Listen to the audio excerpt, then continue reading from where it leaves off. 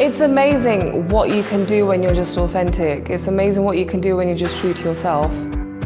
I am a woman with a beard when a beard is supposed to be a manly thing.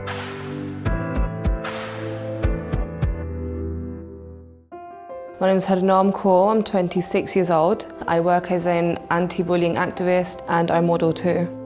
Polycystic ovary syndrome is as simple as saying that I have more testosterone in my body than the female sex hormone and the side effect of the condition is weight gain or weight loss, diabetes, alopecia, obviously facial hair, in school, I was bullied horrendously because of the way that my body was. I thought that the bullying would stop if I removed my facial hair, so I started tweezing, bleaching, waxing, shaving, using hair removal creams, but the hair growth just came back even longer, darker, thicker. I was at the age of 16 when I hit my lowest and I was very suicidal. And I was just sick and tired of all the body shaming and bullying and people not letting me live my life the way I want to. I thought, right, you're gonna grow your beard out and see how you like her and see how she forms on your face.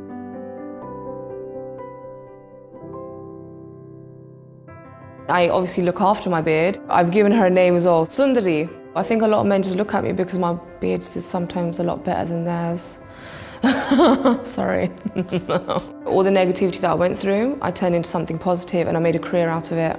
You know, I'm in the media absolutely everywhere, very fortunate to, you know, to be able to reach such um, vast amount of people because there are so many women out there, even men that suffer from body shaming but don't speak about it. One woman said, I'm not suicidal because of you. So that to me just really ensured to me that, yeah, you know, what you're doing is positive and it's having a positive effect on people.